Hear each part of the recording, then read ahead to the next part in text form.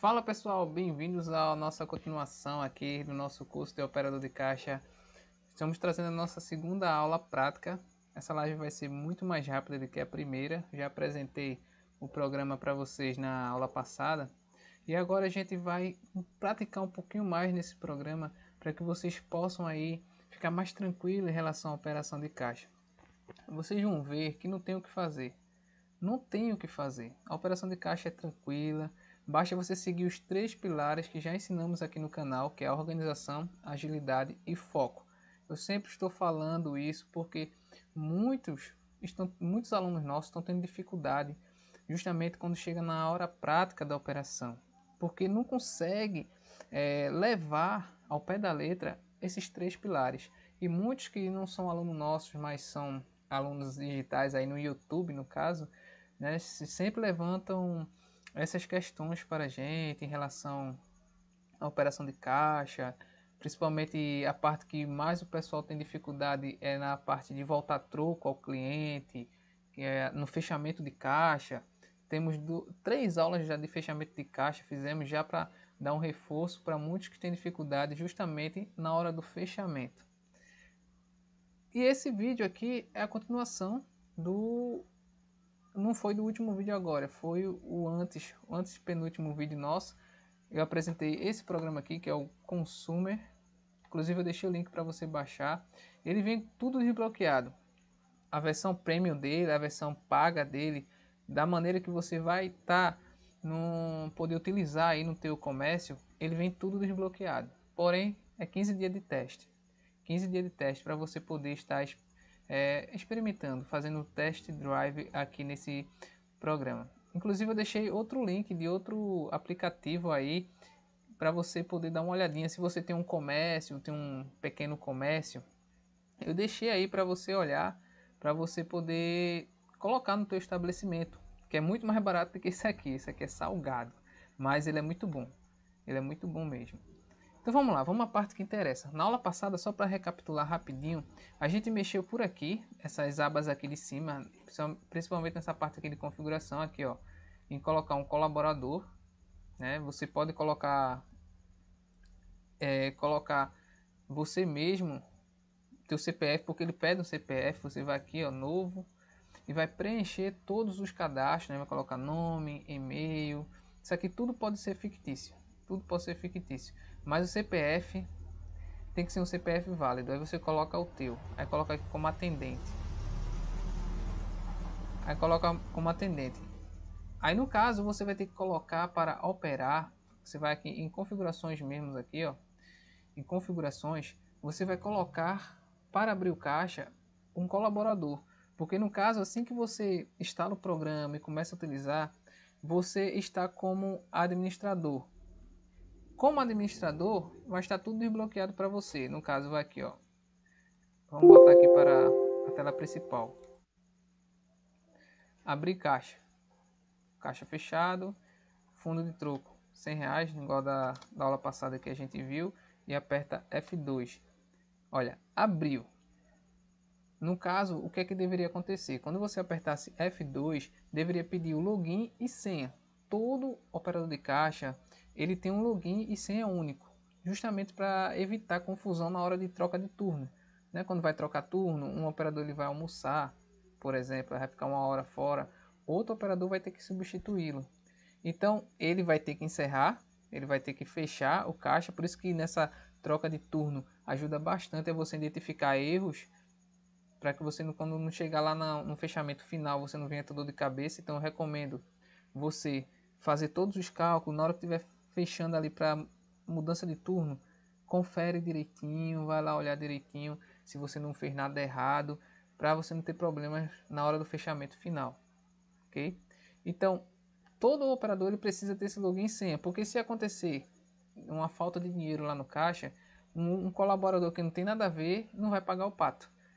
Quem vai pagar vai ser aquele que realmente errou, porque o sistema vai estar tá lá, vai registrar que foi tal operador, vai estar a numeração, cada operador vai ter lá o seu login e senha, como eu já falei diversas vezes aqui. Então, por isso que não tem como enganar o sistema. Beleza? Pronto, aqui já abriu o caixa. Já abriu o caixa. Se quiser fechar, é só apertar F3 no teu teclado aí, que já fecha. O caixa está aberto. Nesse programa aqui tem programa que já é junto, né? Assim que você abre, ele já abre o PDV, já que é separado. Você tem que abrir e apertar F5, que é para entrar na tela de PDV, que é a tela que você vai estar atuando e trabalhando aí todos os dias. Vamos lá, deu uma pequena travadinha aqui, vamos ver se ele abre aqui.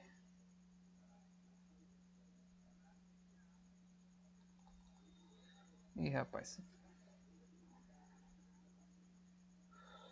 Só porque eu tô fazendo uma live começa a travar assim, essa bexiga aqui, chega a dar raiva. Mas vamos lá, vamos se concentrar aqui. Pronto, essa aqui vai ser o PDV, vai ser toda a, a vai ser a área que você vai trabalhar, vai ter tudo aqui que você precisa tudo que você precisa para poder estar executando a manutenção aí, tanto a manutenção quanto a operação do teu caixa vai estar aqui. Nessa parte aqui de edição é quando você já lança um produto aqui. A partir do momento que você lança um produto aqui, aí você por acaso lançou um produto errado, você pode aqui em editar, editar e corrigir isso daí antes de fechar a venda, porque quando você apertar no caso aqui, ó, F5 que está aqui embaixo, e você fechar e você percebeu que tem alguma coisa errada, um cliente reclamar de alguma coisa errada, você já não vai poder fechar, você vai ter que esperar um fiscal de caixa, não, fiscal vir com cartão para poder fazer o cancelamento. Aí isso aí é mais chato, o cliente está esperando, ok? Então você aperta F3, no caso que já está aqui, ó, se você tiver uma maquininha aí daquelas de leitura de código de barra para treinar, ótimo. Se não tem, não tem, você tem que apertar F3. O que é que você vai fazer? Escolhe um produto. Ele já vem 30 produtos aqui cadastrados. Assim que você clicar aí Enter, ele vai abrir essa janelinha aqui, mostrando, no caso aqui, ó, ficha técnica e tal. Vem esses produtos aqui e vai dar o valor de... Estou mostrando aqui, é vários produtos no caso, né? Que está comprando aqui, ó. Vários produtos que deu 20 reais. Beleza. Você apertar Enter de novo para ele lançar aqui na nota. Vamos ver um aqui mais prático aqui, ó. Um biscoito, por exemplo. Aí aqui você pode colocar a quantidade. Se ele está levando mais de um, supor que está levando 10 biscoitos. Gosto muito de comer biscoito. E aperta aí, ó. E já vai lançar aqui na nota aqui. Ok? 10 biscoitos. E vamos colocar mais um aqui. Uma só mesmo, um kit só. Pronto. Pronto, vamos supor que ele vai levar isso aqui que deu um valor de 49. Eu esqueci de colocar alguns produtos quebrados justamente para a gente trabalhar essa parte de, de volta troco ao cliente. No caso, se vocês quiserem que eu traga uma aula só sobre voltar troco utilizando esse programa aqui, ou outro programa que vocês queiram, se por acaso você está para trabalhar, né, está para fazer uma entrevista e já procurou saber qual é o PDV que aquele mercado ou aquele lugar que você vai trabalhar vai utilizar, você pode deixar aqui no comentário, dizer, olha, onde eu vou trabalhar vai usar tal PDV. Aí eu vou fazer uma pesquisa de mercado para ver se eles disponibilizam a versão de teste, para eu estar trazendo aqui só essa parte de volta troco, fechamento, abertura, que são as partes mais específicas e mais agudas aí na profissão. Beleza? Então comenta aqui. Pronto, depois que vocês lançarem aqui na nota, vocês vão apertar aqui, ó, F5. Que é para poder fechar, né? Para poder a gente fechar. Pronto. Vai abrir essa nova janela aqui. E na aula passada eu falei que geralmente essas letras aqui são padrão, mas não para todos os PDV. Isso deixa bem claro. A cada 5 PDV, 3 terão esses mesmos padrões aqui. Ó. O A vai ser para dinheiro, se apertar A, se a venda for dinheiro. B, se for a cartão de débito. C, cartão de crédito. V, vale alimentação ou refeição, geralmente vem junto os dois aí. F, se for fiado. E o O, se for outras formas de pagamentos como a gente já falou. Hoje em dia existem diversas formas de pagamento, principalmente digitais, né? Tem PayPal, tem pelo Pix. Então tudo isso aí você pode configurar nessa opção aqui. Aí você vai botar outras opções, ok? Pronto, vamos supor que o cliente ele quer pagar no cartão de crédito. Você aperta C para poder já abrir essa nova janelinha aqui do cartão de crédito. Aí vai abrir outras opções aqui, ó, isso aqui você decora já no primeiro dia. Você pega um, um dia, o primeiro dia, geralmente quando você está em treinamento, são geralmente 3, 5 dias de treinamento, né? Tem lugar que só dá um, mas por certo mesmo, né? Pela lei trabalhística, é no mínimo estourando 3 dias de treinamento. Então você vai ter três dias para consumir e entender esse PDV. Não tem, para falar a verdade, não tem muito que entender aqui, né? É simples, é simples. Tem tudo. Do, da mesma forma que está aqui, mostrando todos os comandos, vai mostrar lá no PDV quando você for trabalhar. Não pense que é diferente, é exatamente isso aqui. Por isso que eu baixei esse, esse PDV aqui, porque ele já vem tudo desbloqueado da maneira que você vai ver na hora que você for trabalhar. Vai abrir exatamente essa janelinha aqui, do mesmo jeito que está aqui, mostrando para você, vai mostrar. Então vai mostrar aqui, ó, se for Visa V, Mastercard M, aqui é mais fácil, né? Visa B, Mastercard M, X é American Express, e se for outras bandeiras, aí vai ser o S. Se for outras bandeiras aí, vai ser o S. Aí você coloca S e vai hum, geralmente digitar qual é essa bandeira desse cartão. E aqui, ó, você pode conferir aqui, ó, essa parte aqui é de número de autorização. Número de autorização da operação de pagamento com cartão de crédito ou débito obrigatório. Já saiu aqui.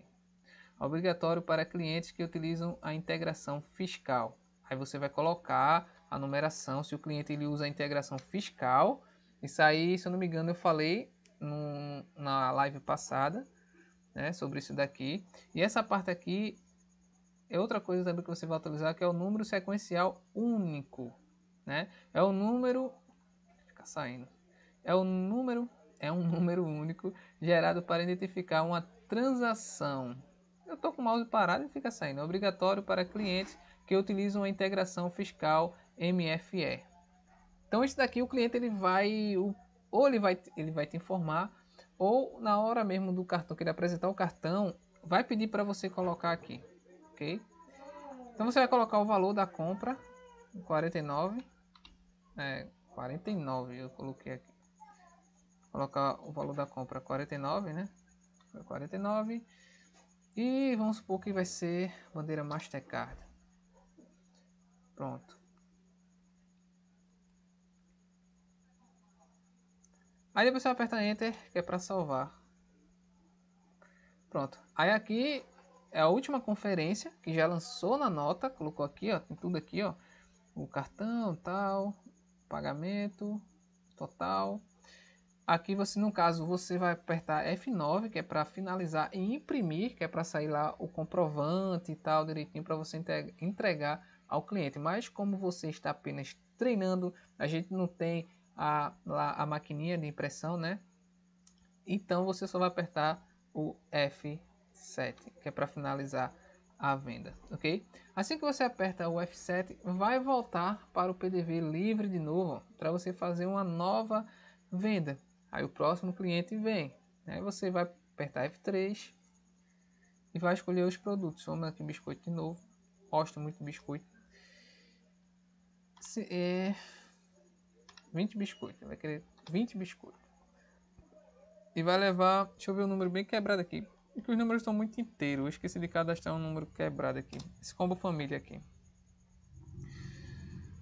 É... Tem que selecionar isso aqui, né? Aí no caso isso aqui, pronto. Não entendi isso aqui. É, deixa eu tirar isso daqui. Isso aqui tá meio confuso. Então lancei isso aqui. Hum. Peço até desculpa a vocês aí, porque esses coisinhas que vem aqui, esses produtos aqui que vem aqui, já vem nesse programa. E ele tá vindo com. Tem alguns produtos que é mais para restaurantes, lanchonetes e tal. Mas não significa que você não pode aí utilizar no teu. no mercadinho, por exemplo, né? Então F5, né? Para poder fechar, é, lançar, começar a operação, pronto. Aí voltamos para essa janelinha aqui. E aí, Aí vamos supor que dessa vez o cliente ele vai querer comprar um cartão de débito. Aí você vai apertar B para cartão de débito. Aí você vai colocar lá o valor da compra. O valor da compra que já está mostrando aqui, ó, que é 57 reais o valor da compra. Aí você vai colocar 57, que é num débito, ok?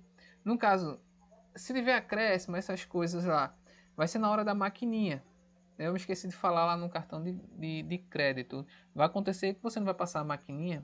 A partir do momento que você coloca na maquininha o valor, ele já vai colocar aqui, ó. Já vai mostrar aqui. No caso, esse valor aqui já vai ficar, não vai ficar 57, ele vai aumentar.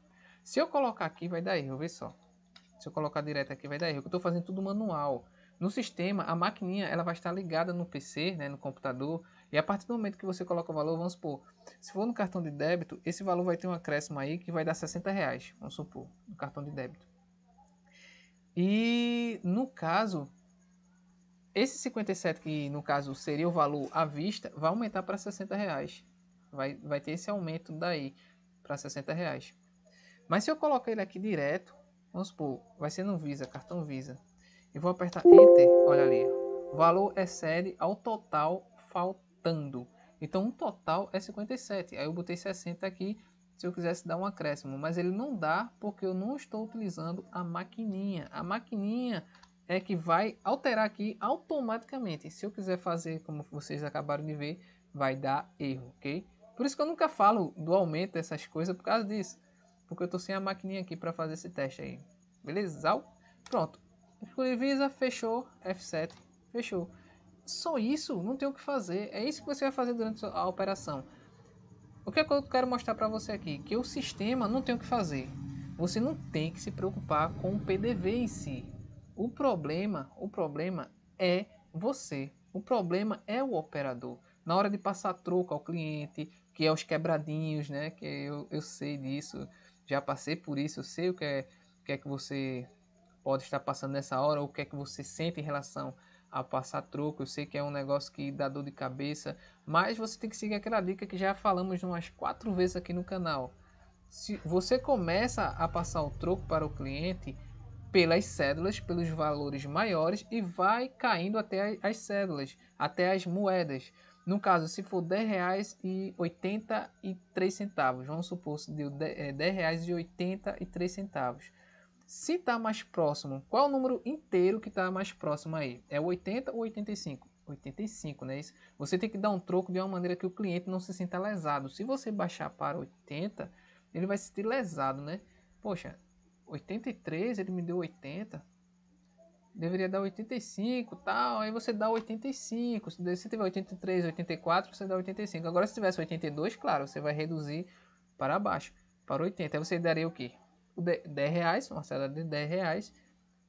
Aí você pegaria uma prata de 50 centavos, depois duas, é, 3 10 centavos, que dá 80, e depois uma de 5, que dá os 85. É mais ou menos assim. É calma, você vai colocando o, o troco, tudo, tudo na sua mão, coloque e vai conferindo.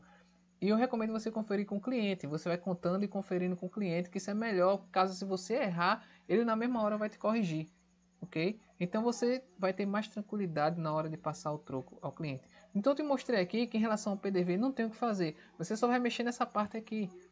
Só isso que você vai fazer. Passar as vendas. Abrir o caixa, entrou aqui e vai passando as vendas tranquilamente. Não tem o que fazer, ok?